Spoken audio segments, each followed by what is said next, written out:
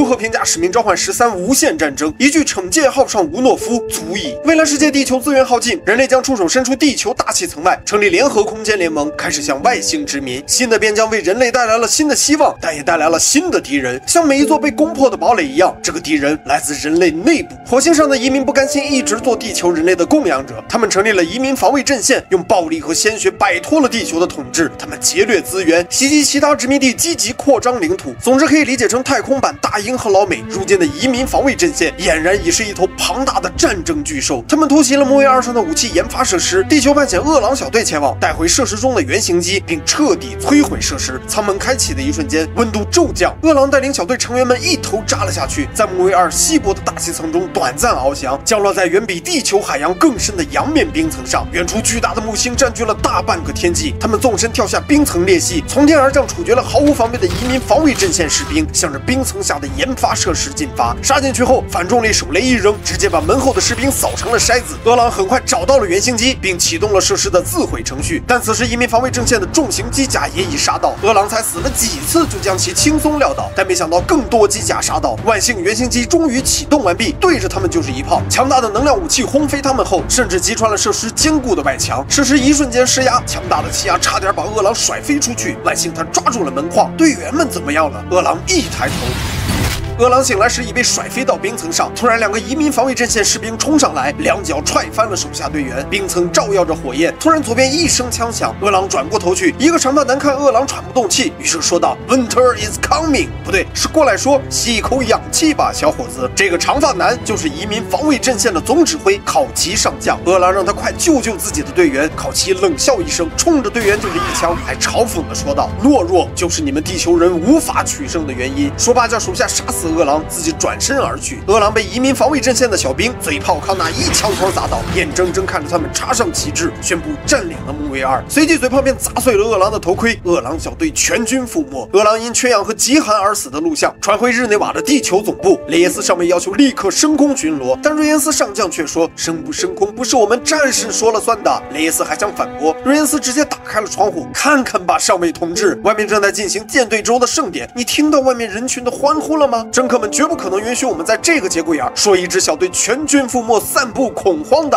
荒唐，太荒唐了。可惜事实就是如此。只要家里的暖气能驱除外面的严寒，政客们就毫不在意壁炉里燃烧的是谁的骨头。雷斯憋着一肚子火走出办公室，队友萨沃特尔上尉正在门口等候。他也觉得应该立刻升空警戒，而不是办什么狗屁庆典。更糟糕的是，政客们对联合空间联盟旗舰惩戒号的命令，竟然是作为庆典游行的头号花车，这不是扯犊子吗？两人一起走出大楼，路过两边都是大理石的走廊，上面镌刻着每一个为联盟牺牲生命的英雄之名。在政客们的糟蹋之下，又有哪些名字会刻上控制的石碑之角？两人走上天台，欢呼的人群沉浸在庆典的欢乐中，对十八个小时前木卫二的惨案毫不知情。两人无奈地登上一艘乌鸦运输机，上面有瑞恩斯送给雷耶斯的礼物——一台最新型的 E 三 N 作战机器人伊森。此时，瑞恩斯也登上运输机，准备与他们一起返回惩戒号。运输机飞过河道中一座座 AATRS 大炮，这些强大的防空火力是抵御寒冷的烈焰，是破晓时分的光线，是唤醒眠者的号角，是守护地球的尖盾。但就在运输机抵近惩戒号即将降落时，伊森却发现这些炮口竟然悄悄对准了惩戒号。就在他惊呼的一瞬间，猛然一炮，万幸运输机替惩戒号挨下了这一发。雷斯和萨奥特尔迅速接管驾驶台，日内瓦的天空乱作一团，不停有联合空间联盟的战舰带着钢铁超越屈服极限的呻吟声坠入河面。两人拼命操纵运输机，最终迫降在地面上。雷斯和萨奥特尔并无大碍，但一艘移民防卫阵线的运输机也跟了过来。两名敌军士兵飞扑过来，雷斯接过过萨乌特尔递过来的枪，砰砰两枪解决了敌人。不断有联盟战舰被击毁坠落，当务之急是夺回 AATRS 大炮的指挥权。路上，他们收拢了一队溃兵，带领他们冲向指挥塔，身边不停有士兵倒在冲锋的路上。但面对侵略者的强大火力，没人退缩。伊森一个箭步撞烂了核心指挥室的大门，众人一通扫射杀光敌兵。雷耶斯及时拔下移民防卫阵线的终端，重新夺回了指挥塔的控制权。至于那个俘虏，也并非带路党，这货大大方方承认，他就是移民防卫阵线的副总指指挥瑞亚。牛批！二号人物亲自做间谍，不服不行。死到临头了，他还不忘甩出一句。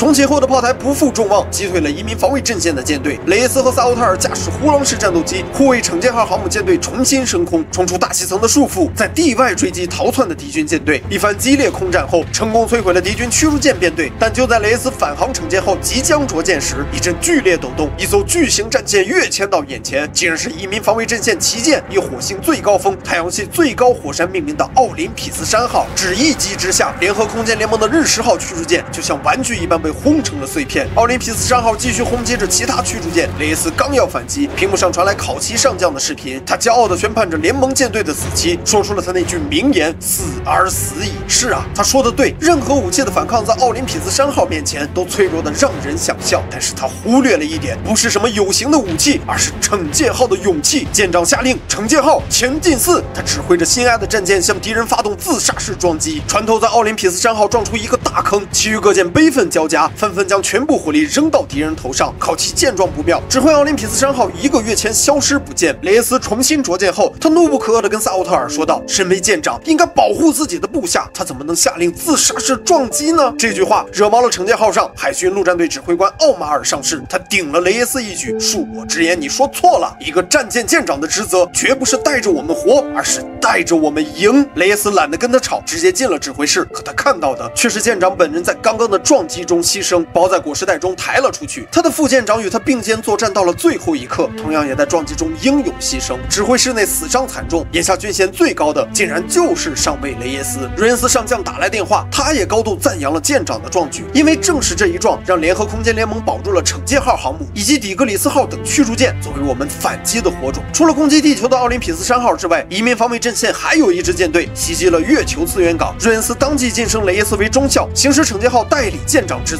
夺回月球港控制权。地面突击任务由舰上马润负责，但奥马尔他们对伊森这个机器人极其不感冒，甚至还拿他开玩笑来嘲讽雷耶斯。说话间，运输机已抵达月球港，舱门打开后，还没反应过来呢，就有一整车马润被直接炸飞，其余人在重力小得可怜的月球表面疾驰冲杀。雷耶斯擎着盾牌一马当先，正在酣畅淋漓追逐敌军时，一架敌方狂风式战斗机突然出现，一炮轰烂了基地外壳，走廊瞬间失压，气流席卷着雷耶斯。二番上演木卫二上饿了狼的遭遇，他好不容易把住了萨乌特尔，没想到一个敌军战斗机器人飞来一撞，两人一起失手飞了出去。紧接着是天旋地转般的猛烈撞击，关键时刻，伊森及时杀到，替雷耶斯接住了夺命的大卡车，一把拽起他来，带着他重新回到加压舱室，很快肃清了月球港内的敌军残部。此时他们接到友军底格里斯号的求援，雷耶斯立刻决定驾驶月球港内的胡狼升空作战。奥马尔让他带上自己，还说人类肯定比个铁皮罐头可靠，被雷耶斯一口回绝。他和伊森驾驶指着胡狼敲掉了敌方护卫舰编队，但战斗机显然不是敌方驱逐舰战神谷号的对手。雷耶斯干脆带着众人直接跳帮，炸开剑桥前挡风，让敌人也尝了尝施压后被作进外太空的滋味。杀进军械室后，不仅关闭了战神谷所有武器系统，伊森还拿到一份敌方舰队布防图。撤离时，几个敌人冲出来，奥马尔和伊森一前一后，不知第多少次默契合作，干死了敌人。随后一起跳上了前来接应的胡狼式战斗机。此时，迪格里斯号正好加速上来，在他们撤离的一瞬间，先侧所有火力一轮齐射，将战神古号彻底撕成了碎片。返航后，轮机长麦卡伦少校发现中奖了，伊森拿到的那份布防图居然是实时更新的。有了它，惩戒号可以在任意时间跃迁到敌人头上，实施精准打击。这时，雷耶斯才意识到，对呀，麦卡伦的军衔比自己突然晋升前要高啊，为何他当时没接手惩戒号？他平静地说道：“不是每个人都有派部下执行必死任务的决心。原来，某次他的部下伤亡惨重后，无法承受内心的煎熬而辞去舰长职务，才被改派到惩戒号上的。布防图显示，移民防卫阵线在土卫六上有一座重要的燃料补给站，一旦摧毁它，敌人短时间内将无暇进攻地球。雷耶斯立刻下令跃迁，一道蓝光闪过，区区一瞬之间，惩戒号便抵达土卫六的上空。地球人类已经三十年没有踏上土卫六的土地了。雷耶斯去跟看着地图沉默不语的奥马尔打招呼，这才知道奥马尔曾经去过，但那是他最不想回忆的记忆。他曾来土卫六看望过，作为管道工人在那儿勤勤恳恳工作三十年的夫妻。父亲用汗水为家人换来了一份体面的生活。直到移民防卫阵线摧毁了这一切。所以这次任务对奥马尔而言不只是战斗，更是复仇。并肩作战这么久，他早就放下了雷耶斯对前舰长不敬的成见。好兄弟，一起战斗吧！对了，还有个事儿，奥马尔郑重说道：“我希望伊森能跟我们一起作战。”伊森知道，对这个骄傲的马润而言，说出这句话意味着什么。甚至伊森登机时，他手下的陆战队员陆导又在调侃伊森是个铁皮罐头时，也被奥马尔大声叫停。他当着所有人的面说道：“伊森跟我们一样是英勇的战士，土卫六近在咫尺。”运输机被投送到他的超级气旋上空，穿过复旦的大气层中活跃的雷电风暴，很快像是涂了层柏油的地表景观就展现在眼前。他们一路向着高耸的燃料塔前进。奥马尔看着父亲和工友们曾经的宿舍，叹息：这里曾经多么美好啊！可惜移民防卫阵线入侵后，这里一夜之间就成了苦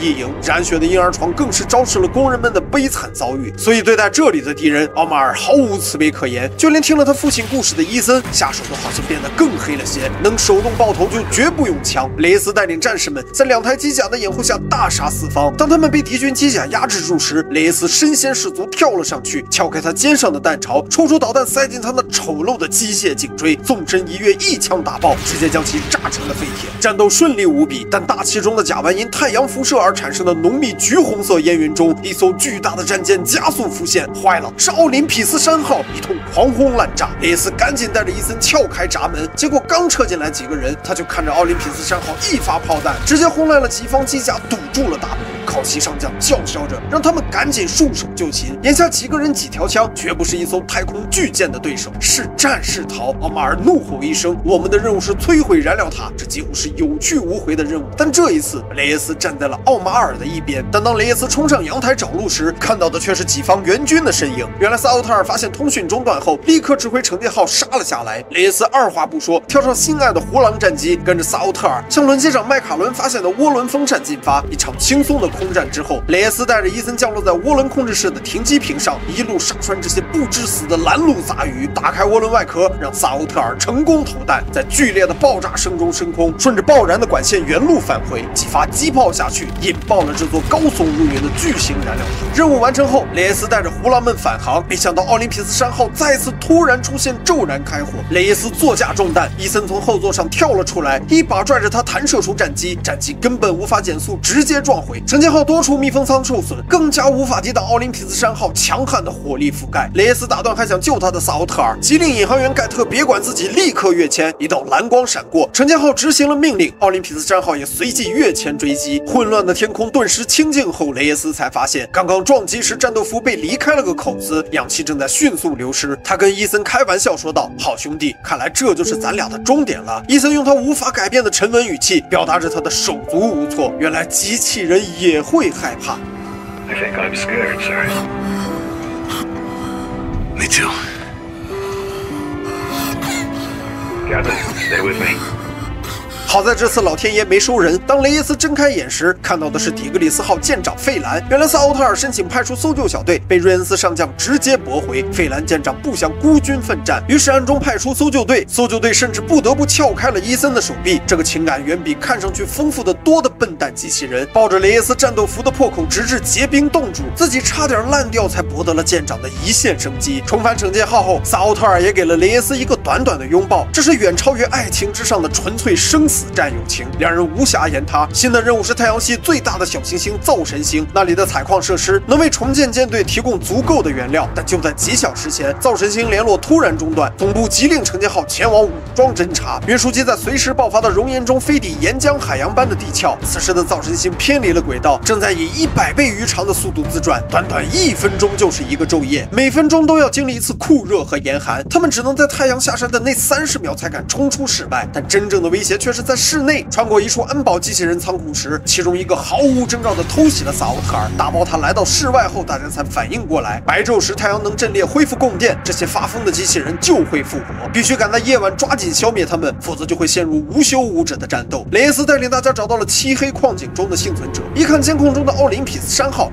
然又是移民防卫阵线搞的好事。无所谓，只要杀穿这片已被敌人侵入的机器人大军，就能带带领幸存者返航了。可眼看就要登机时，雷耶斯却被榴弹炸飞。奥马尔冲上来拉起他，拖着他一点一点登上了飞机。这时，一个中枪的矿工在大声呼救，或许是因为朴素的情感，或许是想起了自己同样是工人的父亲。奥马尔不顾阻拦，再次冲进战场救人。可他刚冲出去，就是一声爆炸巨响，腾空而起的火焰阻挡了他们之间的路。奥马尔急呼：“任务第一，别管我了，赶紧撤离！”但雷耶斯坚决下令等他。可谁成想，飞机却突然起飞，是萨奥特尔无视命令强行起飞。但紧接而来的大爆炸却证明了，要不是他抗命，一飞机的人都得命丧火海。雷耶斯暴怒质问，被萨奥特尔兜头一顿臭骂：“收收你的菩萨慈悲，给老娘听好了！你忘了第一次见奥马尔上市时他是怎么说的吗？”雷耶斯反问他：“如果是我在下面，你也会扔下我起飞吗？你的心是从什么时候这么狠的？”萨奥特尔平静地说道：“从你成为舰长的那一刻开始。”雷耶斯的圣母心终于开始瓦解，他明白了老舰长为何下令撞击，明白了麦卡伦为何辞职，明白了萨奥特尔为何抗命，更明白了奥马尔为何牺牲。但重返惩戒号后，他才得知大事不妙，迪格里斯号已经被敌人彻底撕成了碎片，舰上所有人集体阵亡，无一生还。而造神星上的一切，都是考奇调虎离山的圈套。看着他那张带着丑陋刀疤的帅脸，嚣张地说着“地球必败，火星万岁”，雷耶斯反而冷静下来。咱们之所以中圈套，是因为后方地球总部听说造神星失联后，慌乱之中下令我们前往所导致。不是瑞恩斯上将太菜，而是他的指挥部离前线太远，无法有效研判。我命令惩戒号即刻悬挂黑旗，便宜行事。雷耶斯决定也打一波伏击，而且伏击地点就是他们那颗蔚蓝色的母星地球。原来此前瑞恩斯上将曾发来密电，移民防卫阵线二号人物瑞亚体内藏有一个不间断发射信号的发射器，而他的终极任务是与 AATS 大炮同归于尽。当他完完成任务后，收不到信号的考奇就知道地球防空系统已被摧毁，随即便会展开全面入侵。然而就在他们在空中严密监视车队转移瑞亚时，押送车队居然被袭击了，敌人炸毁了大桥，瑞亚在混乱中逃脱了出去。雷耶斯立刻带人下机徒步追击，一路追到教堂天台，结果一开门，瑞亚突然出现，被他一拳闷翻。他引爆了早就装在炮台的炸药后，一边猛踹雷耶斯，一边嘲笑着地球人的软弱，然后掏出一把刀子说道：“看好了，什么是真正的勇气？”说罢一刀扎向自己小腹，活生生取出了发射器，将其一刀斩断。果然没过一会儿，敌军舰队就已向地球跃迁，正在驶入大气层，伏击计划彻底破产。雷耶斯当机立断，下了一个与老舰长自杀式撞击一样凶险的命令，命令惩戒号直接向地球大气层跃迁，直接向大气跃迁将对舰体造成灾难性后果。但跃迁所产生的冲击波，同样也能短暂重创奥林匹斯山号，或许可以趁机登船夺舰。此时消息严重滞后的瑞恩斯上将来电问询，雷耶斯刚回汇报了自己的计划，奥林匹斯山号就已抵达联合空间联盟总部附近。就在瑞恩斯上将看向窗外的瞬间，骤然开火，随着总部大楼灰飞烟灭，上将的信号也彻底中愤怒的雷耶斯驾驶胡狼加速冲过去，惩戒号也在此时完成跃迁，巨大的冲击波几乎将胡狼撕烂。雷耶斯当机立断，直接弹射，竟然还真带着大家完成了跳帮。就在他们向剑桥猛冲时，脚下一阵剧烈震动，雷耶斯差点被甩飞出去。猎兵陆岛一把拽住了他，两人挂在边缘摇摇欲坠。雷耶斯急中生智，一个喷射带他重新回到了甲板。这个小插曲没拦住他们冲到指挥室门外。雷耶斯打开远程入侵系统，控制了一台作战机器人，一把薅住考奇就是一通暴锤。伊森顺势也黑掉了所有机器人。在这些反水机器人的敬礼中，雷耶斯终于来到奄奄一息的考奇面前。这货临死前还在嘲讽雷耶斯：“You know nothing, know nothing。”说完就这么咽气儿下线了。奥林匹斯山号由雷耶斯正式接管，但考奇说的没错，战争还没结束。雷耶斯决定趁敌人还不知自家旗舰反水，去火星用他们的大炮轰烂他们的老巢。巨大的战舰一个月前蓝光闪过后，便出现在火星轨道船坞的上空，猛烈轰击毫无察觉的敌军驱逐舰。但一发过后，敌人就反应了过来，空中和地面火力集体朝奥林匹斯山号招呼，舰上武器系统不断下线，火力密度渐渐下降为零，就像是身体的某种本能反应。曾经反对自杀式撞击的雷耶斯直接下令，奥林匹斯山号调整航向，目标敌军船坞，全速前进。他将指挥权交给伊森，叫来惩戒号，自己驾驶着胡狼战斗机，一起为奥林匹斯山号证明他们最大的导弹护航。目标已经锁定，但此时惩戒号却已被击中，无法改变航向。偏偏他此时此刻就在奥林匹斯山号冲击的航线上，雷耶斯不得不命令伊森立刻爬高，但急速的转向导致奥林匹斯山号迅速解体，剧烈的爆炸甚至毁掉了惩戒号的动力系统，就连雷耶斯的座驾也燃起大火，再也无法调整飞行姿态，朝着火星地表一头扎了下去。雷耶斯醒来时，正好看着惩戒号也在向着地面迫降，而伊森驾驶的奥林匹斯山号残骸也冲向地面，炸成了一大团火光。他冲到惩戒号迫降地点，救过自己一命的列兵路岛被舰体碎片压住。雷耶斯好不容易抬开后，却发现巨大的铁皮已经扎穿了他的胸膛。这个坚强的战士还在说着：“没事没事皮外伤而已。”雷耶斯叫继任马润指挥官布鲁克斯快去找绷带。天性乐观还有点想泡萨乌特尔的鹿岛还在跟雷耶斯开着玩笑：“长官，我会得到一枚紫心勋章的，对吧？”萨乌特尔上尉肯定会喜欢。他用越来越无神的眼睛看着天空，像是看到了什么，轻轻问了雷耶斯一句。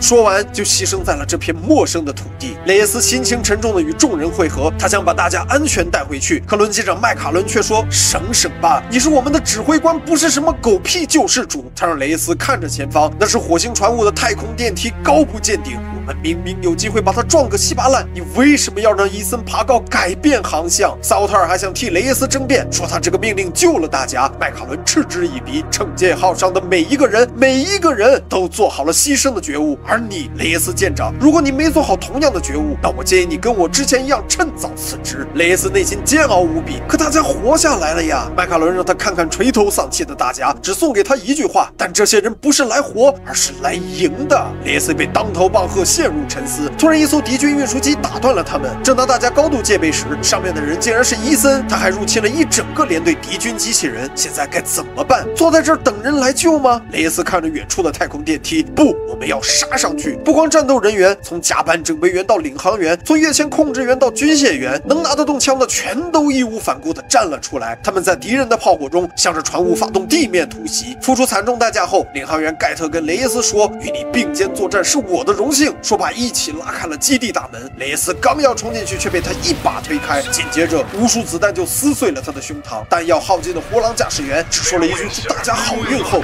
也一头扎向了敌军的炮台。但这些牺牲是值得的。幸存小队成功杀进了电梯间。此时需要有人舍命断后。曾经在战斗中断了一条手臂也不肯退役，装了条一体在甲板下做军械员的格里夫站了出来，带着三个兄弟死守大门。就在电梯启动的瞬间，众人就看着他们用血肉之躯冲向了敌人的钢铁大军。大家在麦卡伦的带领下，祈祷了一句“愿逝者安息”后，电梯像离弦的箭一般带着他们射向了太空。登顶后，雷耶斯带着萨奥特尔和麦卡伦从紧急出口先行出来清理门口的敌方守军。这时，他们发现敌方机器人正源源不断弹射到地面，他们决定塞几个炸弹进去，为我方地面部队减轻压力。没想到弹射舱门一开，机器人突然苏醒，一把抓住了雷耶斯。麦卡伦冲上来就是一刀，自己却被机器人抓进了弹射舱。他恳求雷耶斯：“哦，Captain, my Captain，松开手，记住，完成任务是唯一目的。”以粉碎自我圣母心的雷耶斯毫不犹豫地松开了手，目送着自己可敬的轮机长与敌人同归于尽。他们没有时间悲伤，前方还有战斗在等着他们。两人肃清出口守军，成功接应大家走出了电梯。伊森迅速上上前占领控制台，夺取了一艘敌方驱逐舰的指挥权。萨沃特尔问道：“要用它杀出去吗？”雷斯坚定地说：“不，我们要用它毁了这里。但驱逐舰火控系统需要去指挥中心手动解除。谁来执行这个任务？”雷斯坚定地说道：“我去。”萨沃特尔压上自己所有的勇气，提醒他：“火控系统上线后，我会立刻带队攻击船坞，完成任务后也会立刻带队跃迁撤离。我们不会停下来等你的。”雷斯点了点头。如今他已完全理解了牺牲的意义。伊森也站了出来陪自己的舰长。萨乌特尔再没有半点婆婆妈妈，只跟着一人一机说道：“行吧，那咱们地狱再见。”双方分开后，雷斯拼了命的往前冲，终于赶到了指挥中心。伊森担心敌人的电磁干扰会瘫痪他的处理器，雷斯不得不入侵了他，控制着他的钢铁身躯，穿过熊熊燃烧的燃烧室，一把扯断了反应核心的电容。但预期中反应炉过载炸掉的场景并没有出现，怎么办？伊森说只有一个办法了。他一边说着，一边向反应炉走去。